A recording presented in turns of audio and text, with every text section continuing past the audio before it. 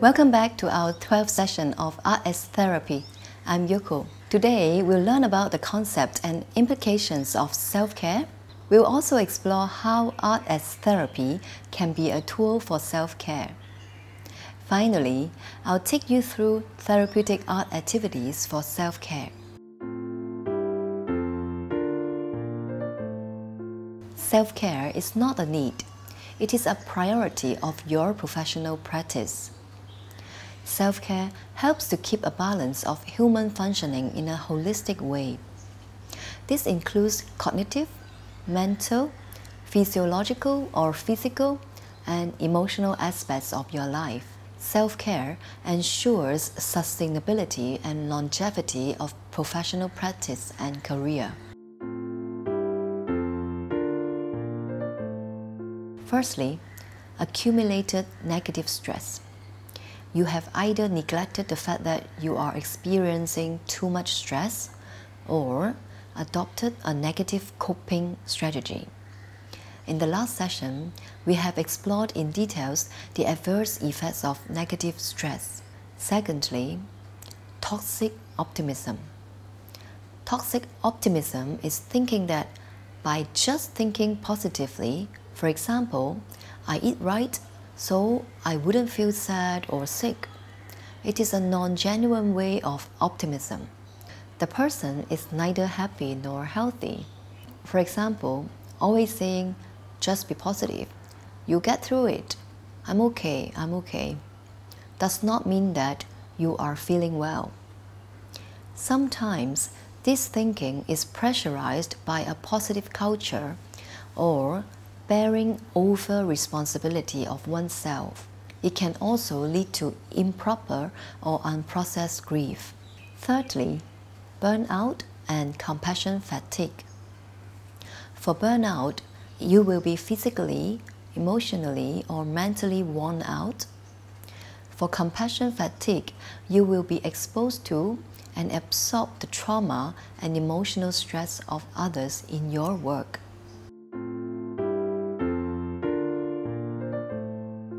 We must acknowledge that we are ourselves a container that has limits in its physical body and mental capacity. We contain emotions and feelings from ourselves and those felt or transferred from others. We must also set proper boundaries in our personal, social, and professional life. Lastly, we also need to perform regular maintenance on our well being. Symbolically, how do we maintain the shape, form, and the functionality of this container that is ourselves?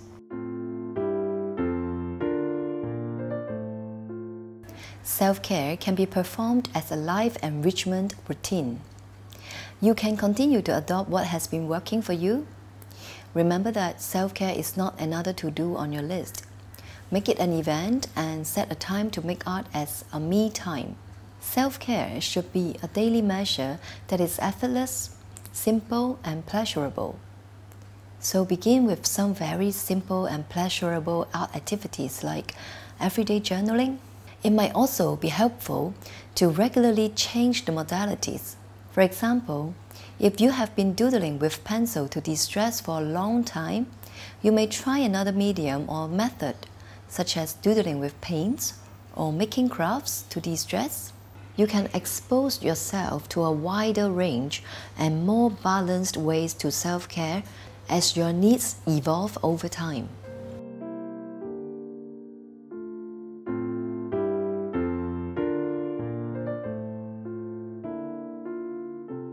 There are many types of weaving and uh, weaving methods.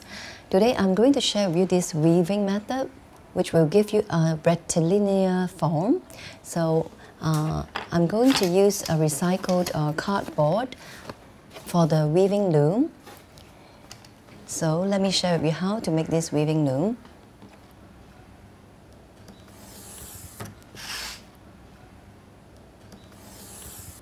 In between these two lines, you're going to subdivide this space into uh, smaller grids. So for instance, every 2 cms, I'll make a marking. Don't worry about these markings on the, on the cardboard because it is not part of the weaving, the weaving object.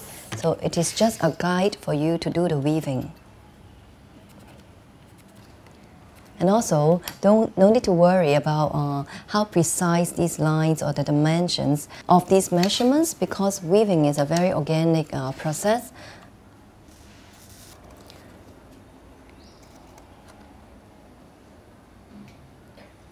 Okay, so I have divided in the weaving object, the width, into about six spaces. So what I'm going to do is to cut a slot on both sides.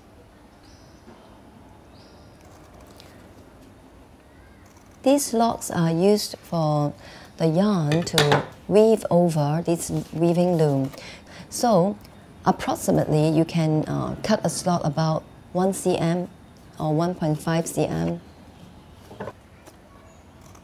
So now I'm going to um, create the structure of this uh, weaving object by using um, a jute yarn. So I'm going to slot in this jute yarn into the first slot. And because of the uh, rigidity of the cardboard and also the jute is quite uh, rigid, you can either use a masking tape to tape here or you can just simply tie a knot.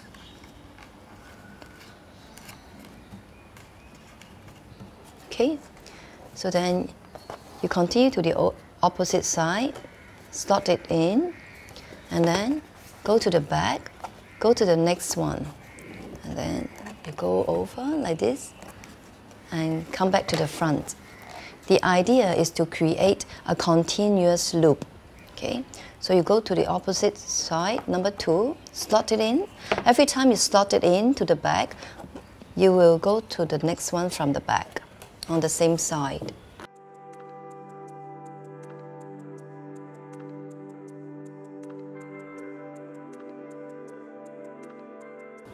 So to make it easier, I, am going to write the number on the board. Okay.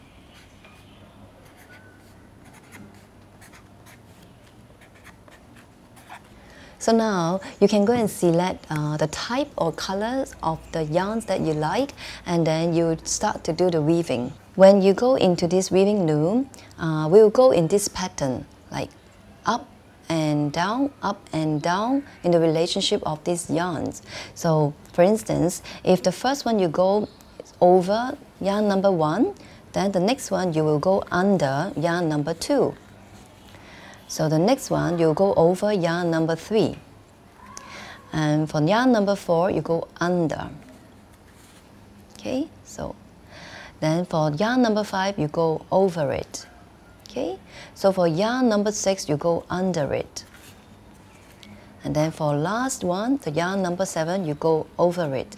So you can see that uh, there's an alternate pattern for this cloth to go over these vertical yarns, up, down, up, down, up, down, up. So you can pull these strips uh, towards the other end, when, whereas for this end, the loose end, you can just wrap over this last yarn into the structure like this. Don't worry about uh, it's being loose because when you weave over the whole thing, um, they will be squeezed together and uh, they won't come, really come out. Okay, so how do we end this or continue this? If you have a long enough strip, so you can go under the last uh, yarn. So make sure you wrap the cloth over yarn number seven so that you can continue this weaving process. We call it the first row. We have just finished. Then we go, we move on to the second row. The principle is the same, but now we have to compare for the second row and the first row. Just now, for yarn number six, it, is, it was under, so now we have to go over. With the same logic, we'll go under yarn number five, over yarn number four, under yarn number three, over num yarn number two, and under yarn number one.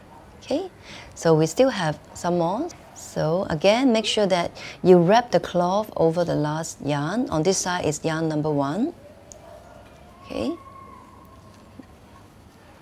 for the weaving process, you don't really need to prepare very long uh, strips of cloth or yarn because it may get very clumsy. So usually uh, a good length will, will go for about few uh, rows. For this loose end, don't worry because when you squeeze the whole fabric together, the structure will hold them together. Mm -hmm. So you can just leave it inside like this. So now I'm going to uh, pick another color or pick another strip of yarn and uh, so I think I can manage this, this length. Okay, so roughly it's about maybe about six to eight rows. Yeah. So just now I stopped the first yarn at about number four. So when you have a new yarn, you don't really need to uh, start from there again. You can always start from yarn number one. So I go into yarn number one, Self-care is really about doing something pleasurable.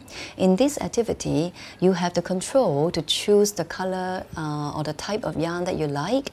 And uh, you can also get in touch with materials, the softness of the yarn, and um, this repetitive motion helps us to stay in the here and now.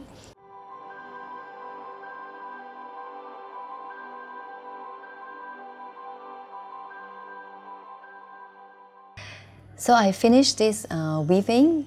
For today, I did a rather small and manageable size. And uh, now I'm going to share with you how you can detach this weaving object from the weaving loom. As you can remember from the beginning, we have the yellow uh, yarn which acts as the structure for the weaving object. So now we are going to take this, uh, all the yellow yarn out of this uh, cardboard, the loom. Okay, so you can uh, start from either end or yarn number one or yarn number seven, okay? So uh, let's take a look.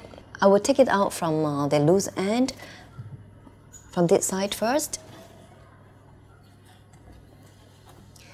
So because the advantage of this um, cardboard is that it is flexible, so it's quite easy that uh, you can just take it out like this. Okay, so you can bend your cardboard a little and then you can take, it, take this out from the slots. Okay, it will look like this. So since one side of it is already released, so the other side will be uh, easier to take it out. Okay, now this uh, weaving object is finished, but there are some loose ends on both sides, right? Um, there are many ways that you can uh, end these loose ends. For instance, you can tie them into small knots. You can also uh, use some beads to put it in and then tie a ribbon. So it really depends on your creativity and how you like it to end, okay? So I'm go for me, I'm going to tie the knots and so that uh, the the object is tight. Yes. So I'll just tie all these together. So I have finished this uh, weaving uh, activity for self-care and with this loom I can continue to make more uh, weaving objects and I hope you will enjoy this uh, weaving activity and uh, find it fun and pleasurable. We have come to the end of today's session. To summarize, we have learned about the concept and implications of self-care. We have also explored how art as therapy can be a tool for self-care. Finally, we tried weaving activities as self-care. I hope you enjoyed the session. Be kind to yourself and use art for self-care. See you next time.